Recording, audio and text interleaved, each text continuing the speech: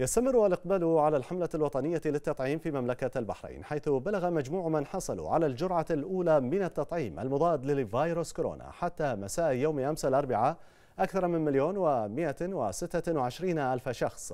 فيما بلغ عدد الحاصلين على الجرعة الثانية من التطعيم نحو مليون ومائة وثمانية آلاف شخص. هذا وقد حصل على الجرعة المنشطة من التطعيم أكثر من 273 ألف شخص.